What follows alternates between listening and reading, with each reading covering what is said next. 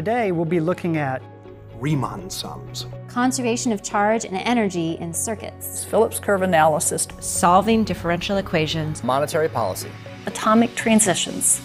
This is Davidson Next, online learning materials designed to help you master the most challenging sections of your advanced placement courses. Davidson Next is a collaborative effort between Davidson College, the College Board, edX, and AP instructors from around the country, some of the same instructors who write and grade the AP exams. These instructors carefully guide you through the material, adding structure to difficult sections of study. These sections are divided into bite-sized learning cycles.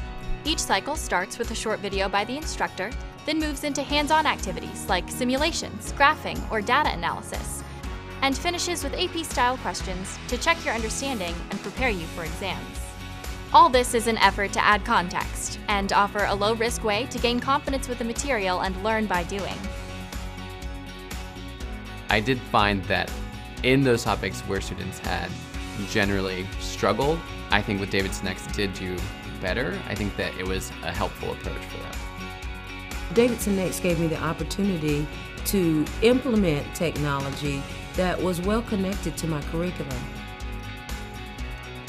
Through the generous support of the Laura and John Arnold Foundation, Davidson Next is completely free and available worldwide through edX.org. You can use as much or as little as you'd like because it's intended to improve course instruction, not replace it. Visit the website and register for Davidson Next today.